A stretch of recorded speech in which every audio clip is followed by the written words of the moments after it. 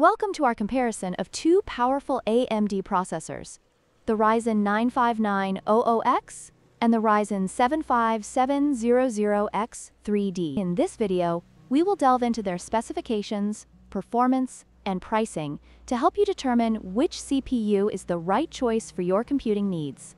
Let's get started.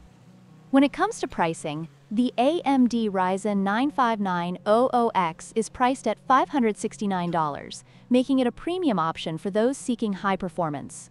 In contrast, the Ryzen 75700X 3D is significantly more affordable at $249. This price difference makes the 5700X 3D an attractive choice for gamers and users on a budget who still want strong performance.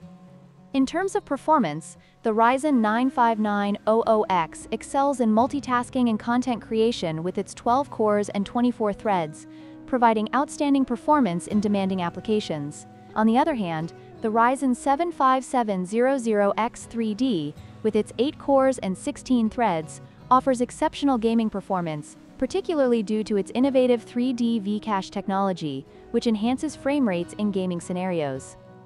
Looking at the technical specifications, the Ryzen 95900X features 12 cores, 24 threads, and a cache size of 70 megabytes, making it suitable for heavy workloads. Meanwhile, the Ryzen 7 5700X 3D, despite having fewer cores at 8 and 16 threads, boasts a larger cache of 96 megabytes thanks to its 3D V-Cache technology, which significantly boosts its performance in gaming. This difference in architecture highlights the unique strengths of each processor. In conclusion, both the AMD Ryzen 9 5900X and the Ryzen 75700X 3D offer impressive performance, but they cater to different needs.